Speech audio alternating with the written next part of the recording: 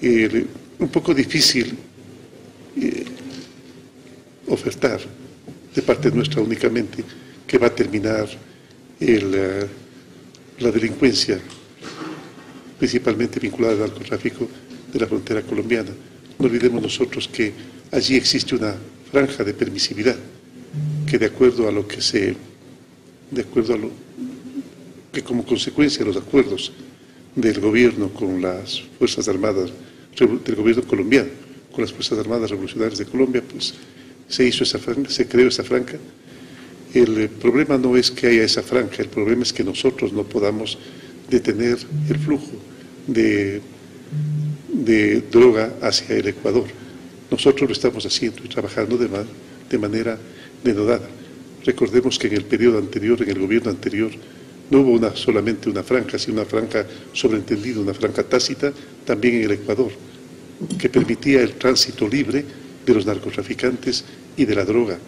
Es por eso que se encontraba tanta droga en las playas de Esmeraldas y Manabí, que era producto precisamente de ese libre tráfico, no autorizado eh, de forma legal, pero sí de forma tácita. No hemos dejado en ningún momento de trabajar en frontera. No sé si el señor ministro tenga algo que agregar al respecto. Claro, cómo no, señor presidente. Eh, el Ecuador está en el continente más violento del, planeta, ¿no? donde, la tasa, la, tasa de, homicidios, la tasa de homicidios eh, bordea eh, los 17 y pico de muertes violentas por 100.000 habitantes y el continente sudamericano tiene una, una, tasa superior a 24 muertes violentas por 100.000 eh, habitantes, Ecuador, con el incremento que hemos tenido este año, que reconocemos que el incremento que ha existido este año es de 0.88 en tasa y un 13% en, en, porcentaje, todavía el Ecuador, comparándonos con tasas de 2019 en el resto de la región, sigue siendo, como lo dijo el señor presidente, uno de los países eh, con mejores índices en lo que tiene que ver a este, a este, a este indicador de, la, de la región. Sin embargo, como también se ha dicho aquí, esto no es que nos contenta ni nos, pone con satisfacción, porque cada, indicador que se muestra en indicamiento termina siendo un desafío para nosotros como Ministerio de Gobierno y, desde luego para la Policía Nacional que está bajo la dependencia de este, de este ministerio. Desde hace un tiempo atrás, refiriéndome al tema de la frontera norte, eh, venimos trabajando los, gabinetes binacionales y uno de los siete ejes que hay entre los gabinetes binacionales es el tema de la seguridad.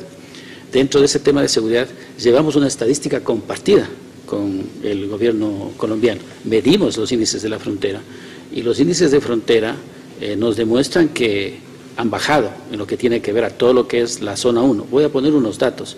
El índice de Tumaco en Colombia está sobre el 16%. El más alto en, la parte norte de nuestra frontera está sobre, sobre 8 por 100 sobre 100.000 habitantes.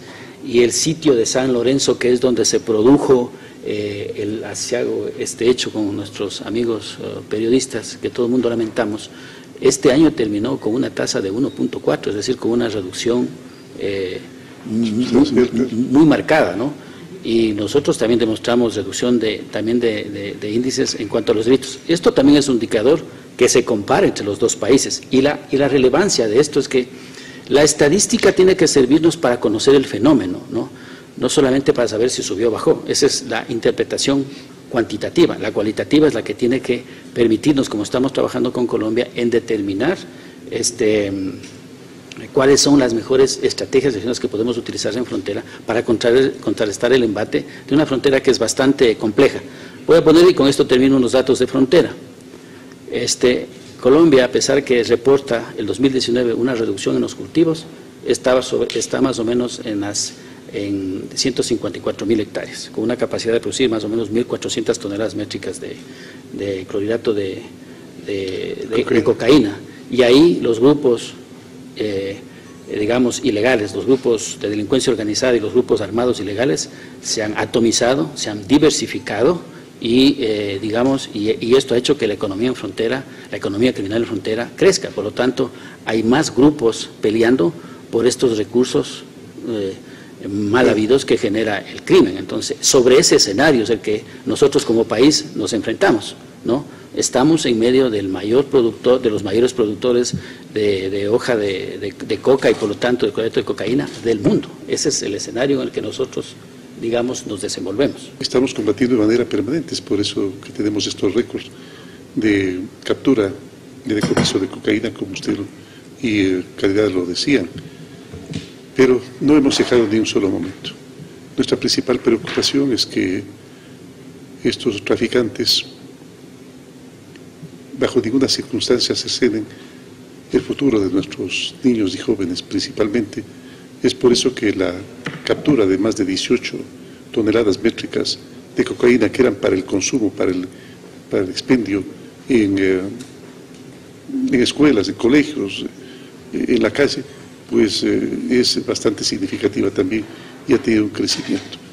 hay, que seguir, hay que seguir haciendo la lucha, es por eso que la policía ha diseñado, con el Ministerio de Gobierno, han diseñado un plan nacional de, para el combate contra las drogas y en esto hemos tenido también el apoyo bastante, bastante grande por parte de gobiernos hermanos como los gobiernos de Colombia y Perú, pero fundamentalmente el gobierno y las instituciones que combaten el narcotráfico de eh, los Estados Unidos. La simbiosis que se ha producido entre los grupos irregulares en frontera eh, muchos de ellos tienen contacto con todos los carteles de la droga eh, mexicana. Es decir, podemos decir que la zona de cultivo y de producción, al menos en lo que tiene que ver con Putumayo y con, y con, y con Nariño, eh, hay, hay fuerte presencia de organizaciones mexicanas, destacándose que las zonas de mayor producción ahora están, como digo, en la frontera sur con Ecuador y en la frontera norte, en el departamento del norte de Santander, justamente con, Venezuela, eh, que es donde se marcan las dos principales eh, rutas hacia, hacia el Pacífico y la otra hacia el Caribe. Y además es el peligro, si ustedes me permiten, de tener un narcogobierno como el de Venezuela, que da una completa permisividad al tráfico de drogas. Es más, es muy probable que, que ellos se estén enriqueciendo al igual que, que elementos, malos elementos de las Fuerzas Armadas. yo les había ofrecido unas tasas de homicidios por cada 100.000 que creo que permiten avisorar el esfuerzo que ha realizado la Policía Nacional. Eh, Chile tiene eh, la tasa más baja en Latinoamérica con apenas 2.6 por cada 100.000. Ecuador el 6.9 para el 2019 y como datos Colombia tiene el 25.4. 25.4 el Ecuador el 6.9 y Colombia el 25.4. México el 27, 27 homicidios por cada 100.000 habitantes. El Honduras tiene 41 y Venezuela 60. Y Venezuela 60.